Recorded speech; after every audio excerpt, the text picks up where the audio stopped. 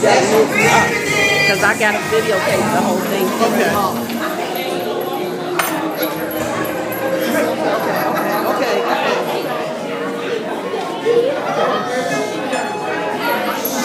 I'll move out your way. Move, I'll move back okay?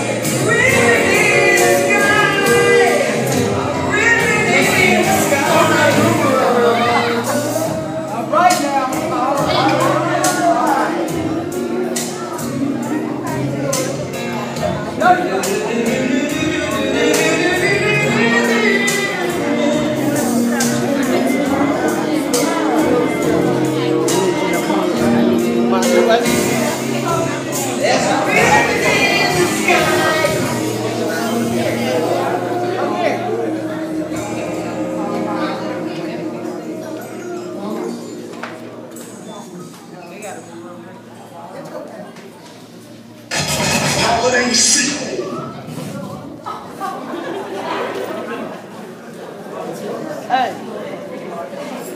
Here, I'm moving. Here. You want me to move her?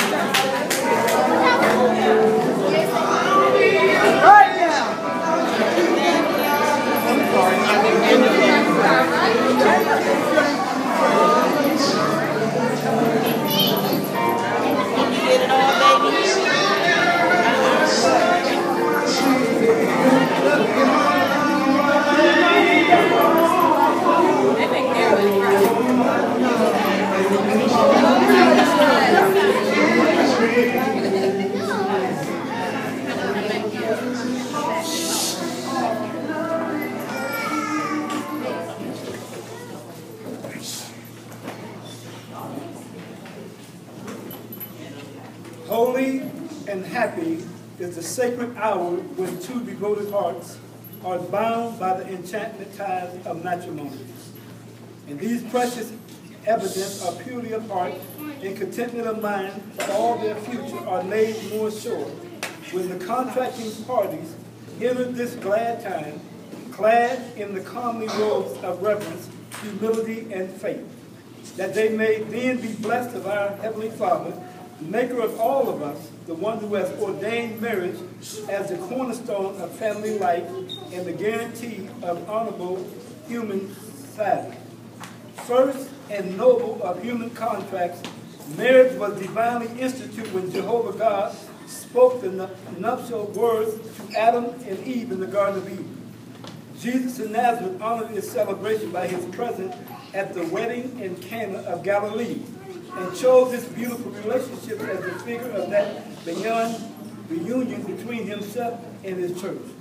Paul, militant missionary apostle, commands in a worthy institute a lack essential to social order, human efficiency, and well-being while the race inhabits the earth, and tells the husband to love his wife as Christ loved his church and gave himself for it. And to the wife, be faithful to your husband, even as the church is obedient to Christ in everything. Thus the two, husband and wife, forsaking all others, become one flesh, one in thought, intent, and hope in the concerns of the presence of life. You, Gary Drayton, and you, Tameisha Johnson, have come to me signifying your desire to be formally united in marriage and being assured that no legal, moral, or religious barrier hinders proper union. I command